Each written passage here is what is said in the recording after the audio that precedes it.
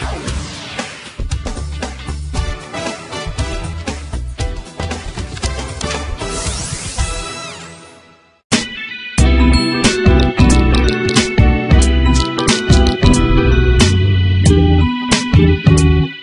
Já de volta com o segundo bloco do Amazônia Mulher e você é meu convidado para assistir o nosso programa diariamente e não apenas nos ver aqui na televisão, viu? Você também pode curtir a nossa fanpage que é facebook.com barra Amazônia Mulher ou também enviar as suas sugestões de pauta pra gente, viu? Várias pessoas que nós já estamos convidando para participar do Amazônia Mulher em 2014 são pautas, são pessoas sugeridas por vocês aí de casa que nos acompanham diariamente. Hoje nós estamos falando sobre economia, sobre como economizar na hora das compras escolares e também vamos falar sobre economia doméstica e economia em todos os sentidos da vida. Nós, mulheres, gostamos muito de gastar, não é não? Somos muito gastadeiras, como falam por aí. Mas nós podemos também é, fazer um fazer com que esse ano de 2014 seja tudo menos, mínimo, né? Poder comprar as coisas que nós queremos, mas por um preço mais acessível. E para isso eu acho que tem que ter um bom planejamento. Né? Com certeza. É, nós estamos no ano da Copa, assim como dizem que todo brasileiro é um técnico de futebol, a gente costuma dizer que toda dona de casa é uma economista. Ninguém melhor que a dona de casa para controlar o orçamento doméstico, fazer caber tudo que precisa dentro do, das entradas financeiras da família. E esse mês de janeiro, como você bem falou no, primeiro bloco, tem o IPVA do carro, tem as contas, então parece que assim, vem tudo pro mês de janeiro, né, Denise? Uhum. E não pode deixar atrasar nenhuma, porque se atrasar, depois vai descontrolar tudo o resto do ano, né? Descontrola, você vai ter dor de cabeça de ter o um nome sujo na praça, é, perder seu crediário, atrapalha tudo. E Denise, eu fico pensando assim, é, por que, que as escolas não podem reaproveitar os materiais? Né? O material que foi do aluno da primeira série, do primeiro ano, pode servir para quem está vindo da alfabetização né, para o primeiro ano. É, é, é, mais jogo você comprar nas livrarias que são parceiras do, da escola ou isso é dar um, um tiro no bolso? A cultura da, do reaproveitamento ela tem que ser aprimorada. Né? Algumas cidades, grandes cidades como Rio de Janeiro, São Paulo, Belo Horizonte, isso já é bastante comum. Né? Eu não preciso todo ano comprar um grampeador, uma tesourinha, se a minha régua ainda está em bom estado, por que não aproveitar? Se, meu, se o filho mais velho é, passou de ano, por que não deixar o livro para o outro irmão? Né? É possível sim. Que cada, cada detalhezinho é, faz muita diferença, seja tendo um filho, seja tendo mais filhos é, em, em ano escolar.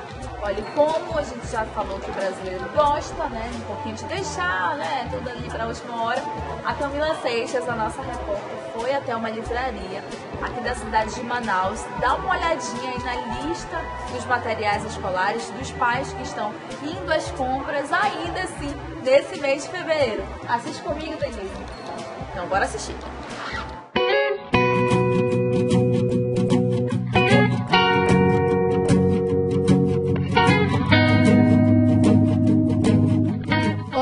Olá, meninas! Hoje o recadinho é para as mamães que estão nos assistindo. Volta às aulas, todo mundo sabe que é sinônimo de desespero para todos os pais. Eles se preocupam com fardamento, matrícula e o item mais preocupante de todos, a compra do material escolar. Vale ressaltar que economia e planejamento são fundamentais nessas horas. Por isso eu vim aqui na Livraria Concorde, localizada no shopping da zona centro-sul de Manaus, para saber como esses pais estão se planejando e as dicas que eles podem dar de economia para você. Vem comigo! Bem, eu costumo fazer as compras é de acordo com, com a pesquisa que eu vou, eu vou, eu vou fazendo, né? Por exemplo, aqui na, na, na Concórdia eu comprei parte do material de acordo com o preço. Então eu compro parcialmente, varia de acordo com, com a marca e com o preço. Na compra de material escolar, eu procuro me organizar, fazer um planejamento para verificar o que realmente vai ser necessário, logo comprar de antemão. E baseado neste planejamento, eu saio pesquisando mas a minha preferência sempre é a Livraria Concorde, porque eu tenho uma preocupação muito grande com a qualidade, porque às vezes tem o barato que sai caro. Então é muito bom sempre também o pai atentar para os produtos que têm certificação do Inmetro. E aí eu sei que realmente aí o filho, a filha não vai estar tendo dificuldade de estar usando aquele material e não vai trazer problemas posteriores. E no meio da busca por pais que estavam no ato da compra do material escolar, encontramos Maria Clara, universitária que pela primeira vez estava fazendo pesquisa de preço sem auxílio dos pais para o retorno às aulas. Bom, eu vim comprar material escolar, no caso, é porque como eu estou agora indo para a universidade, eu sou calura da faculdade, no curso de Direito, assim, tu tem que comprar muito livro, tu tem que ler muito, então assim, agora eu tenho que fazer pesquisa em livraria para ver onde o preço está melhor. É, geralmente essas coisas menores, tipo caneta, grafite, borracha, eu consegui mais barato aqui na, na loja e também a Constituição.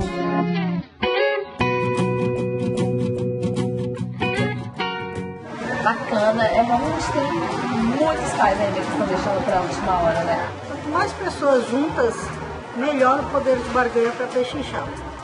Denise tem uma preocupação também dos pais, eu acho que é comum, com a alimentação dos filhos e com aqueles que não é tempo integral com a alimentação da escola e também é, van escolar. Né? Qual é a dica que você pode dar a esse pessoal de casa para não gastar muito também nesse quesito?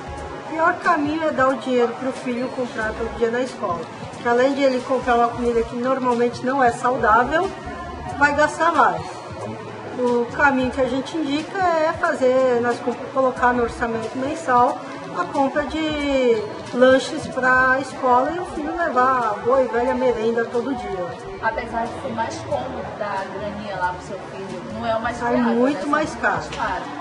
E aí eu acho que... Você também não consegue monitorar o que teu filho está comendo na escola. E eu acho que fazer compras nas, naqueles supermercados que vende em grande quantidade, eu Sim. acho que é bacana também, É não bacana é? isso, com certeza. E a respeito da condução, é, muitas pessoas têm dificuldade de que moram longe da, da escola, enfim, e a condução escolar, cada dia mais, a cada ano que passa, o valor está mais exacerbado. A dica seria procurar um pai que tivesse um filho mesma escola, que morasse perto, pagasse para ele. Eu acho que tanto, na- tanto na vida profissional quanto na escola, tem se usado muito a questão da carona coletiva. Né? O pai ou o colega de trabalho que vai para a mesma empresa ou para a mesma área, um dá carona para o outro e depois no final racha da gasolina, ou um, um vai uma semana, outro vai outra, sempre é o melhor caminho. Se tiver que optar pela van por falta de opção, sempre tem a preocupação de, de verificar se a van é toda legalizada, se tem todos os quesitos quanto à questão da segurança, que isso é muito importante também. Bacana, nosso bate-papo. Eu tô amando, eu que sou mamãe, amo saber, né? Já fiz a, a algumas comprinhas do material didático da minha filha, mas, né? Enfim, ainda falta um pouquinho. E garanto que você também, que é mamãe, tá gostando desse bate-papo, né? E no terceiro bloco você vai gostar ainda mais, porque a Denise vai nos dar aí um uma planilha, como você pode planejar em 2014, como você pode sair do vermelho se caso você esteja, né? Então não sai daí porque o terceiro bloco promete, viu? Nós estamos esperando por você. Vem tomar café também com a gente.